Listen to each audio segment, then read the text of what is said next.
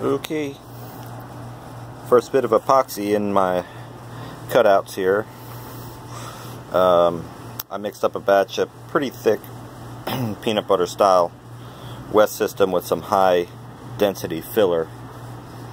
And right back in this area there was a big kind of hole. I just filled that in.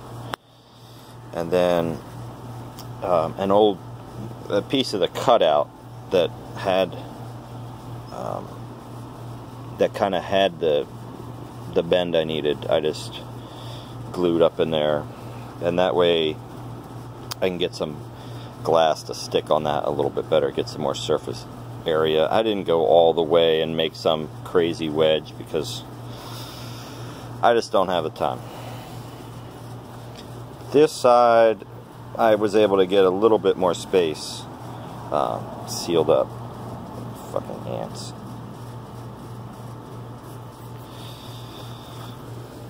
I also went ahead and just put a little bit of filler, you know, back in that area there just to kind of strengthen it up a little bit, let it soak up some resin and whatnot.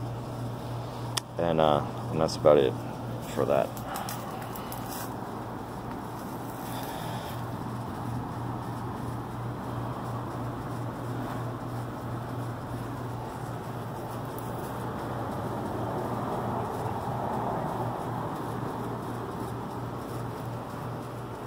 Uh, next I'm going to come back